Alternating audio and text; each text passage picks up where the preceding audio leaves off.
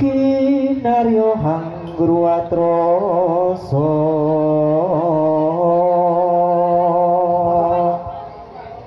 Murih antu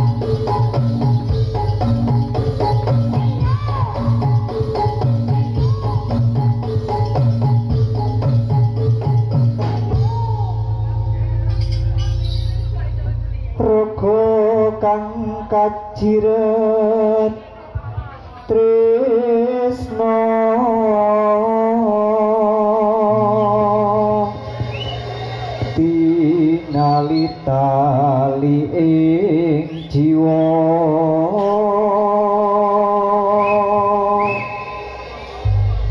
kegandrung parasmu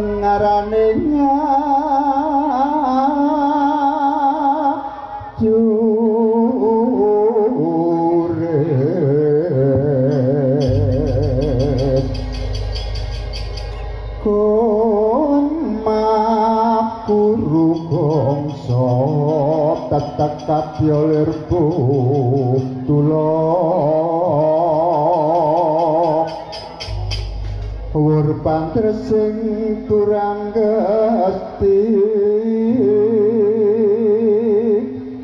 Rekata ingkang